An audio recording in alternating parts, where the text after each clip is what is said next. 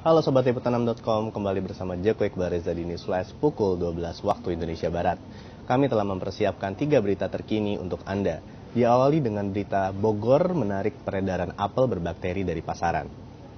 Setelah Kementerian Perdagangan mengeluarkan instruksi agar pemerintah daerah menarik apel berbakteri dari pasaran, hal itu benar-benar menjadi perhatian serius khususnya di kota Bogor di mana pemerintah kota Bogor dalam waktu dekat akan menyita semua apel impor asal Amerika yang mengandung bakteri berbahaya. Diakui oleh Kepala Dinas Perindustrian dan Perdagangan Kota Bogor, Bambang Budiarto, beliau mengatakan bahwa setelah mendapat instruksi dari Kemendagri, pihaknya segera akan melakukan penarikan apel beracun itu dari pasaran. Selain itu, pihaknya juga akan berkoordinasi dengan pihak terkait seperti Dinas Kesehatan, Satpol PP dan kepolisian untuk melakukan penyitaan dari supermarket dan pedagang yang ada di kota Bogor. Dari jenis apel yang beredar, kata Bambang, kebanyakan yang dijual di kota Bogor adalah apel jenis Washington dan apel Granny. Dirinya mengaku untuk apel gala sendiri disinyalir ada, namun tidak terlalu banyak jumlahnya. Bambang juga menjelaskan, seusai penarikan dari pasaran, pihaknya juga akan melakukan pengawasan ke setiap supermarket dan para pedagang. Agar tidak ada penjual yang tidak nakal dengan menjual kembali apel yang sudah dilarang tersebut. Baik Sobat Liputan.com, kita beranjak ke berita kedua terkait Presiden Jokowi yang ternyata tidak menggunakan sosial media Facebook dan Twitter semenjak beliau menjadi presiden. Sekretaris Kabinet Andi Wijayanto mengungkapkan sejak menjabat menjadi Presiden Republik Indonesia, Presiden Jokowi tidak menggunakan akun media sosialnya baik Facebook maupun Twitter. Padahal akun Facebook Jokowi selama ini kerap menuliskan hal-hal terkait isu yang sedang berkembang. Menurutnya, selama ini Twitter maupun Facebook tersebut dikelola tim pemenangan Jokowi pada saat Pilpres lalu. Dan selama menjadi presiden, Jokowi tidak menggunakan akun media sosial apa pun termasuk Facebook dan Twitter yang telah diberi tanda verified. Pasca terpilih sebagai presiden, pihaknya telah meminta kepada pengelola akun tersebut untuk menyerahkannya kepada pihak istana. Rencananya akun media sosial tersebut akan dikelola atas pengawasan pihak istana.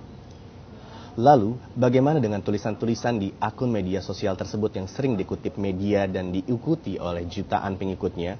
Andi menyatakan Jokowi tidak mempermasalahkan hal tersebut.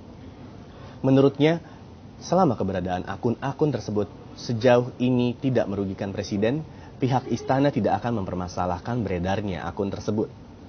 Ia pun meminta masyarakat dan media tidak perlu mempermasalahkannya pula.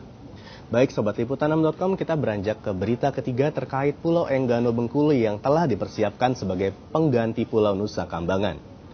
Pemerintah Kabupaten Bengkulu telah menyiapkan salah satu pulau terluar di pantai barat Sumatera yang berada di perairan Samudra Hindia, yaitu Pulau Enggano yang akan dijadikan lokasi penjara seperti Pulau Nusa Kambangan di Kabupaten Cilacap, Jawa Tengah.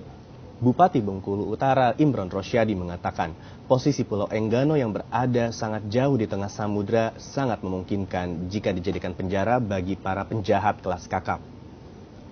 Letak Pulau Enggano yang sangat jauh di tengah samudra dan dekat dengan Australia, kata Imron, membuat orang sering salah sangka. Mereka mengira itu adalah Pulau Christmas yang sering dijadikan tempat para pencari suaka. Pulau Enggano sendiri tercatat sebagai pulau terluar Indonesia di bagian barat dengan wilayah seluas 400,6 km persegi yang berada pada koordinat 05 derajat 23 21 lintang selatan, 102 derajat 24 40 bujur timur.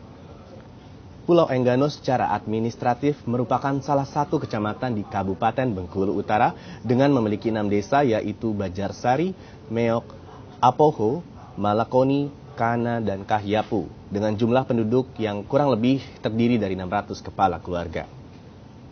Menurut Imron, kondisi para narapidana yang ada di lembaga permasyarakatan Arga Makmur Bungkulu Utara saat ini sudah mengkhawatirkan dan melebihi kapasitas. Sebab di lembaga permasyarakatan tersebut menampung para napi dan tahanan di tiga kabupaten, selain Bengkulu Utara juga datang dari kabupaten Mukomuko dan Bengkulu Tengah. Keduanya adalah kabupaten pemekaran dari Bengkulu Utara yang sudah 11 tahun dimekarkan dan belum memiliki lembaga permasyarakatan. Baik Sobat Liputanam.com, demikian atas informasi yang telah kami berikan untuk siang ini.